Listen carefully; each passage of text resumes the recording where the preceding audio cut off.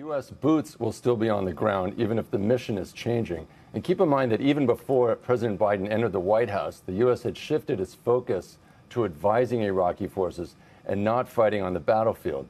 There are currently about 2,500 U.S. troops in Iraq, and they've been playing a backup role to Iraqi forces really since about 2019 when ISIS collapsed. They're a shadow of what they once were. But this is really giving Biden some breathing room politically. Uh, and you have the Iraqi prime minister, it's also under political pressure because he's trying to show the Iraqi public that the U.S. isn't, quote unquote, occupying Iraq indefinitely. So this is symbolic but important in both countries politically. And for Biden, as you said, this is another example of him trying to move the country away from these so called forever wars. He's already uh, announced the U.S. is withdrawing from Afghanistan next month, uh, but he's still keeping his options open here.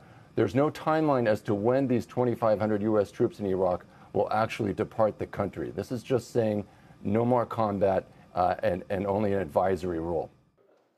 Shepard Smith here. Thanks for watching CNBC on YouTube.